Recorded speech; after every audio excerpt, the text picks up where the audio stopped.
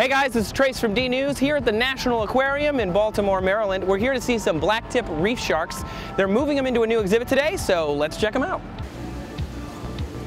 These sharks have been in a temporary tank for a year and a half waiting for the new exhibit to be completed. I'm sure they are excited to move. So when we get in, it's uh, we're a new element in their habitat. So Right. we're trying to reduce as much stress as we can and minimize their anxiety. You don't normally think of sharks having anxiety. Right. No, they're more scared of us than we are of them. So what we're going to do is we're going to catch an animal out one at a time. We're going to get that animal to, into an exam tub, make sure it's comfortable. Uh, at that point, we restrain the animal, two people on the animal. Uh, we get measurements, so we get a total length to see how much the shark has grown since the last time we had it out. We'll also get pictures of their dorsal fins to help us ID the shark. Really? Right in the back. Wow, it is like sandpaper. That's incredible. Female. Um, and then we transfer it to a scale to get a weight, a current weight. It's been a few months since some of these sharks have been weighed. Um, at that point, they're in a stretcher, they're safe, they're secure, and they're taken to their transport hub. Once they arrive at the aquarium, we acclimate them to the water that they're going to go into because it may be a little different than what they came out of. So we take our time doing that um, and then transfer them to a tub to bring them up and release them into their new home. After finally getting the last shark into the new exhibit, the senior aquarist, Ashley, and Jack Cover, the general curator, took a minute to tell us what their experience has been with these awesome creatures. These sharks, there's 20 of them, and they were just put into this tank.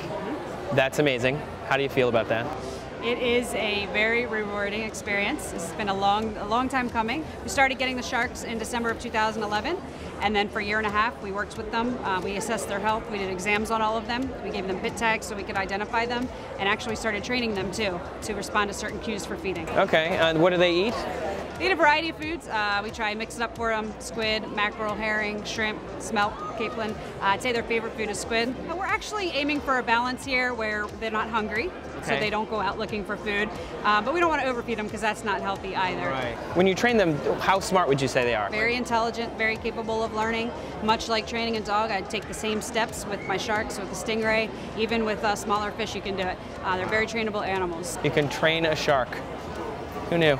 Can you tell us a little bit about the physical exhibit itself? Well, what we aimed to do from the beginning, we picked a part of the world we were going to re- replicate. That was the Indo-Pacific Reef. So the first thing we have to do is we have to take and make a clay model of the habitat. We actually take photographs of different vignettes in the wild and then we recreate those. So all the structure had to be made, all the individual coral pieces had to be made and then mounted as they would appear in the wild. And we went through great pains to make sure the colors matched. Aren't they going to get bored in here? Well, absolutely not with creating an environment where you have predators with prey. They're constantly sort of moving around the exhibit. They're foraging as they would in the wild. There's no downtime. When it comes to the black tip reef shark, why specifically that breed? The blacktip reef shark is an iconic species for the Indo-Pacific Reef. It's really adapted to go into shallow water for hunting. It's also an interesting shark in that it lives in social groups. Mm-hmm. So we have 20 sharks here and you can see that they're moving in a group. They're not moving randomly. The other thing is it's just a beautiful looking shark. Yeah. We want to show sharks are beautiful things. They actually play a role in the health of the reef and these are the stories we wanted to tell here at the aquarium. You guys, that was so cool. They let me touch a shark with this hand right here. Now, this is the National Aquarium, like we said earlier. It's aqua.org. They have 17,000 animals from 750 countries. It's open seven days a week. And they told us even the two days they're closed, they're not even actually closed. So come check it out, Baltimore, Maryland. Thanks for watching D News, everybody. I'm Trace. Catch you later.